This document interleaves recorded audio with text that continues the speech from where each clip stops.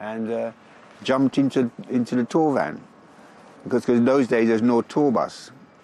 And then it was a, a Ford Transit van. And then he looked around to me and said, Are you ready, Dennis? And I went, Yeah.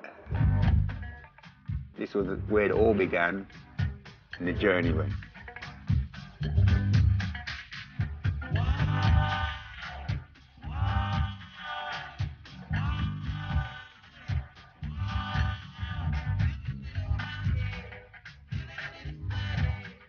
So one of the things I learned about Bob was that whenever he had time off, he would always go shopping, and I never knew he was shopping for.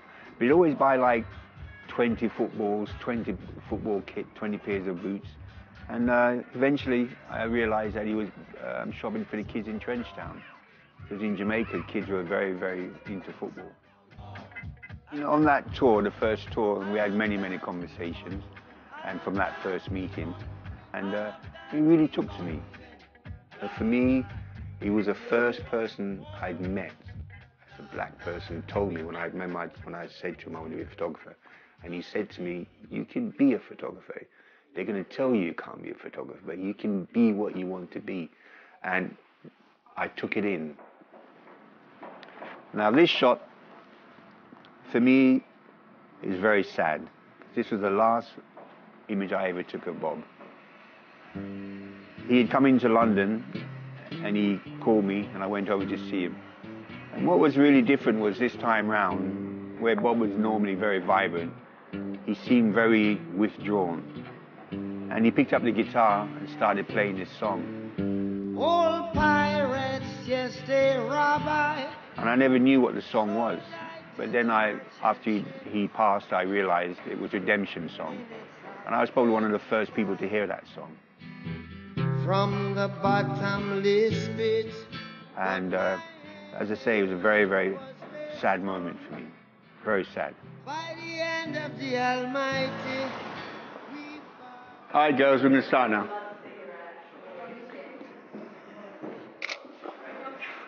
Okay, let's go. What you have to be careful of is like you're kind of constantly being in the back, so you need to sort of put yourself forward, if you see what I mean, so you don't get in the shadow. of- Whatever you do, you're, you're, you're performing to me. You understand? So whatever, whatever it is you're doing, it's t- towards me. You understand?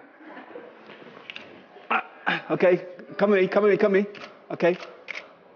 Yeah, head down slightly. Uh, yeah, okay. Great. Keep coming at me, keep coming at me. Stop. That's it. Each member of the band have their own um, personality, obviously. So, you know, it's a matter of just getting and coaxing whatever it is that each person has and capturing that in the photos. Okay. All right, let's go. Come on. Stop. Head down. Great. When I work, it's a very physical thing. I'm always jumping around, moving around. Stay there. Stretch out more. Yeah, put that leg in there. Put that, no, that leg there. And by doing that, which is a natural process for me, it also, in the same way, makes my subject that much more active, not necessarily physically, but internally, mentally, for them to project. So, you know, it's a very physical scenario for me, really. Yeah, too much, too much. Yeah, okay. If you're doing a movie, you don't have to do that much. But when you're doing stills, you really have to exaggerate everything to get that action. Oh, the thing about stills, you always got to do that much more. It's a performance. No, put if you can put it straight out, and then it's like you like a bridge, if you can. Yeah, but don't look like you're holding like you come you come around the other side. Look at me with your eyes in the middle. Let her leg go. Let her leg go. Poke through, push through, push through. Yeah, that's it, yeah. And then you come through as well. Okay, you- what it is now, you're too low, so you need to come back up. Okay, all right. Okay. All right, we'll take a break. We'll take a break.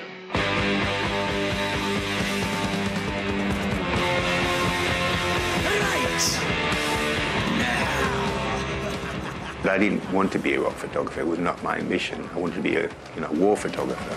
I am an antichrist. I am an anarchist.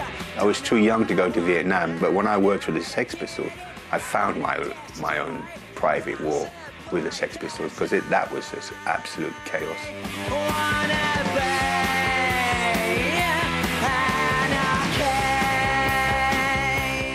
Everything around them at that time, you know, was just absolute madness.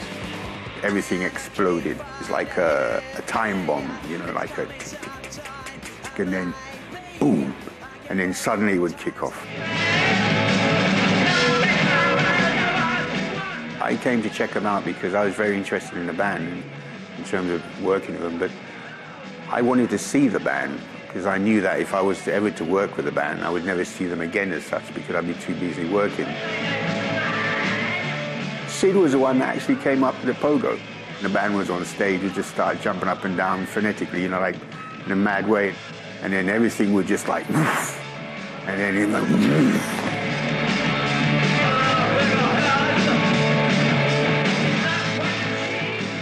When I worked with them, I was right in the front. That's how I got all those shots. I used to wear a jacket with a hood to protect myself from the spitting. And also to get the shots, so not to get blur, I had to move the, the crowd. So I was like, whichever way the crowd moved, I moved, so that I wouldn't get blurred. If you didn't go with the flow, you would get hurt. If you try and keep static, you would get hurt. So you had to move it. It was that kind of a vibe. There was something about this, the Pistols that made you feel and made you know that they were the ones.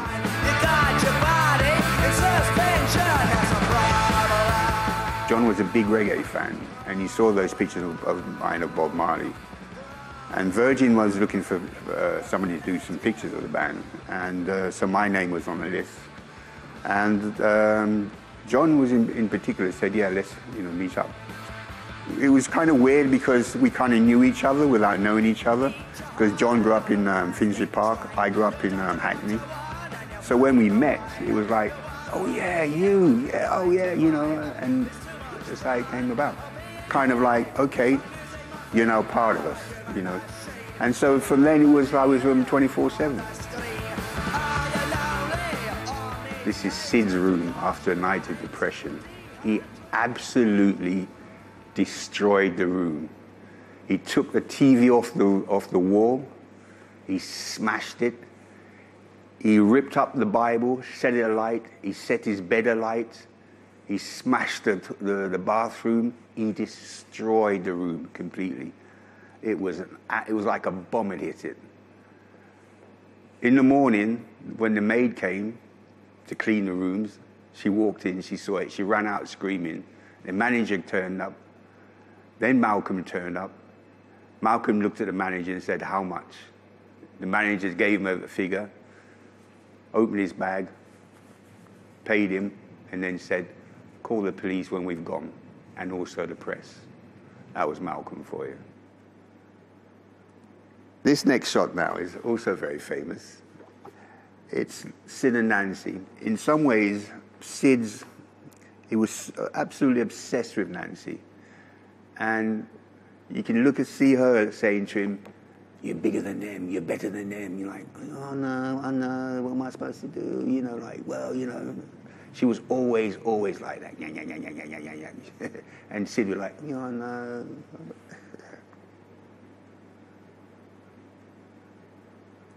This shot was taken on a tour coach. What was bizarre about it was the fact that basically there was only the band on there and one other person and myself. And there you can see Sid completely out of it, doing one of his famous.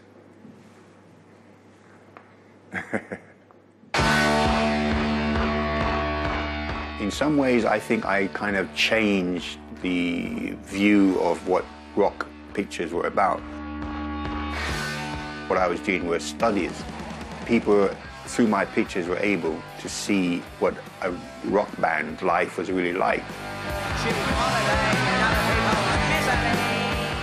What I was given was a real insight, a realism which they'd never seen before.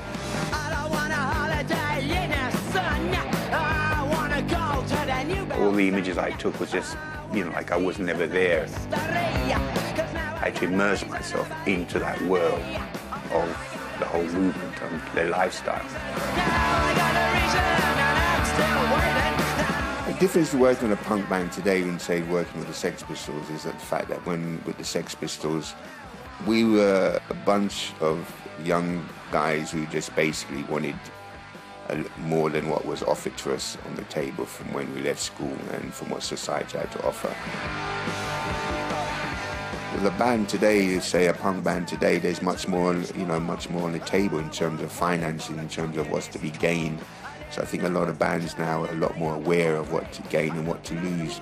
There's a really famous shot I did of Sid. I don't know if you've ever seen it where, Yeah, he's, yeah, yeah. I've seen that. where he's pointing like a gun. Yeah, that's what I'm saying. So it's that kind of thing. Use it like a weapon. Get any pose you want out of it. Yeah, but it's a weapon, and it is a weapon. Yeah. You know, that's what it, you understand. It's, it's a weapon that you want to use. So I am the one that you want to. Yeah.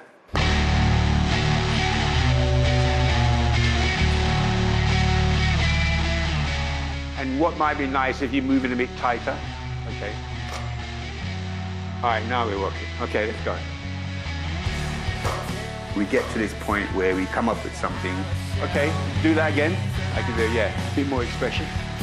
And we get it, and then we use it, and we use it to get to another point, another point. Can create some music.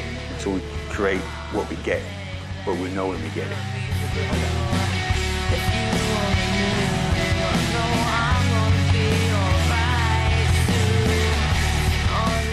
To be an experience, an experience that we both walk away thinking like, wow, that was, you know, something special.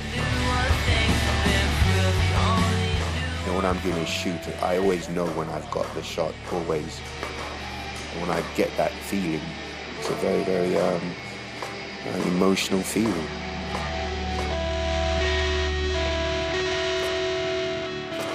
Okay, finish. Okay? Those last ones are really fantastic. Oh my god, they look awesome. Yeah, the red light is so cool. You always know when it's the one. it's when you meet your lover, you know it's the one.